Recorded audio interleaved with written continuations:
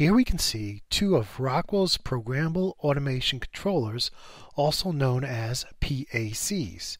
On the right, we have the CompactLogix, and on the left, we have the ControlLogix. While these two PACs program with the same exact software, the ControlLogix supports more demanding applications with higher I.O. counts and more remote I.O., while the CompactLogix is most often used in smaller systems like OEM skids or systems with small I.O. counts.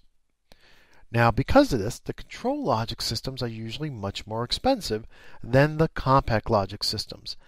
The ControlLogix system is a modular system which, at a minimum, consists of a chassis, power supply, a processor, and either local I.O. or a network card to communicate to remote I.O.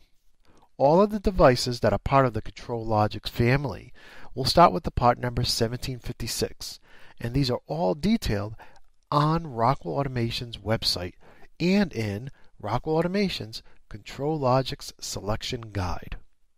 CompactLogix systems, on the other hand, come in two styles the all in one packaged controller and the modular chassisless system. With the modular system, a processor must always be accompanied by a power supply and an end cap at a minimum. And most will often be paired with local compact I.O. Now all of the above CompactLogix devices have part numbers which start with 1769 and they're all detailed on Rockwell Automation's website as well as Rockwell Automation's CompactLogix Selection Guide.